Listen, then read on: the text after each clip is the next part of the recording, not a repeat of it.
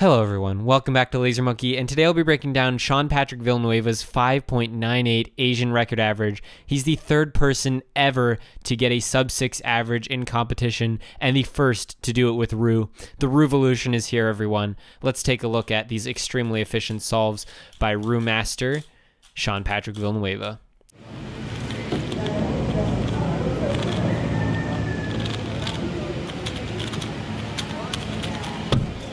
For the first solve, Sean did the orange-white block. So he has his pieces here and here.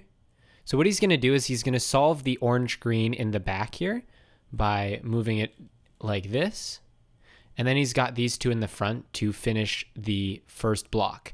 And while he's doing this, he is aware of the second block edge, which is the red-white edge. It's over here. So he's going to solve these and then move the red white edge into place for the second block. Next, he's got these two. He's going to solve those right in the front, and then the last pair right in the back to finish off the second block. Now he's going to do CMLL. And then since his edges are already oriented, pretty lucky, he's going to solve his UR and UL edges, which are the orange, yellow, and red orange. So he's first going to set up the orange yellow back here. And then what he should have done is a U to, you know, solve the U, R, and UL edges. But instead he did a U prime, which set these up in the opposite position they should be. And luckily it wasn't too bad because he ended up getting a case like this, which can be solved pretty quickly if you know the H perm. Uh, but that was definitely a mistake.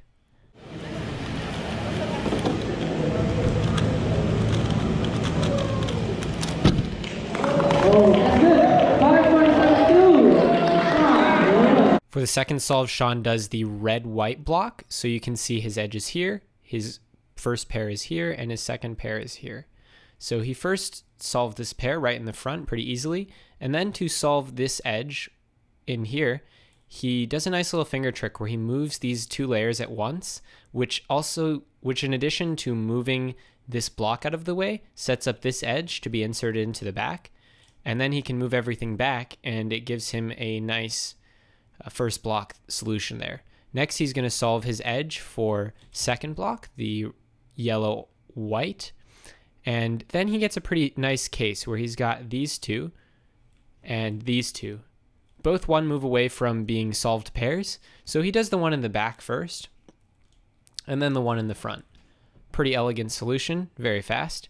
Now he's got uh, CMLL. And here he orients his edges by creating the arrow. And then here he's going to solve UR and UL. Oh. And then he's going to finish off the solve.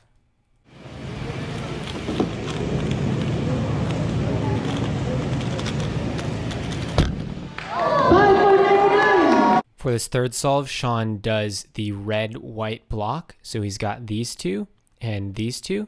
And he's going to solve this edge while pairing up these two. So the way he does that is he first moves this block out of the way and moves this edge into place, pairs up this pair while inserting that edge, brings it all back, and then inserts this to form the first block. Next, he's going to solve his first, his second block with this white and orange, and this is going to be his next pair.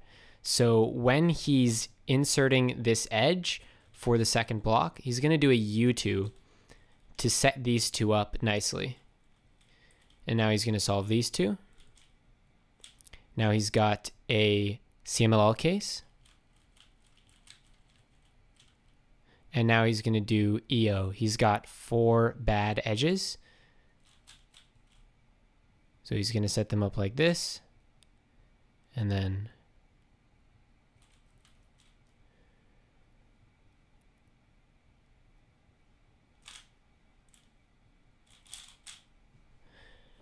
Something like that.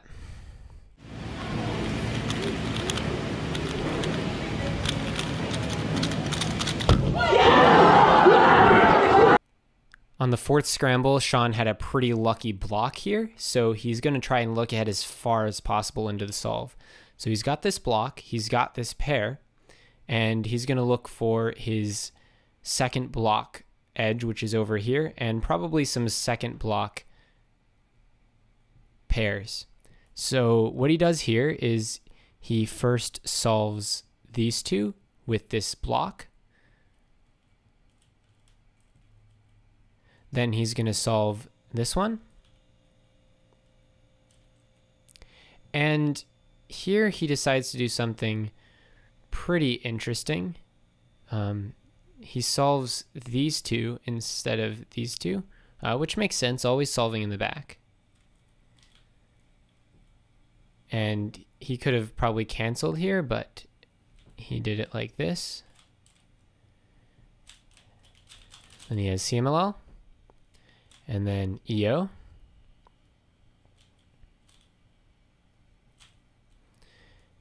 And here he's going to want to solve his UL and UR. So he's going to do that like this.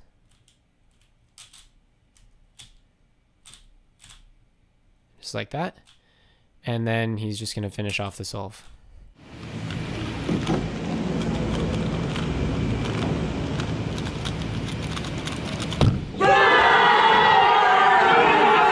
For the last solve, Sean does the red-white block here. So the pieces are here and here. So he's going to start off by solving this one into the back just like that. And then he's got these two set up. But he solves them like this to have this one set up. And now he's got these two solving in the back and then solving these two in the front. CMLL, and now EO. And then here, he saw for his U, R, and UL um, that he didn't want to have this one here. So he went with this one because he saw that this orange yellow would be the one that he needs to solve over here. And so then he solved these. Oops.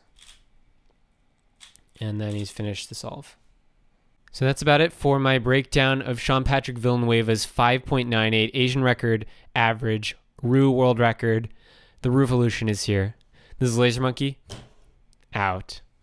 So this was my first experience with Roux. And if you guys are thinking about learning Roux, definitely let me know in the comments. I'm thinking about giving it a shot.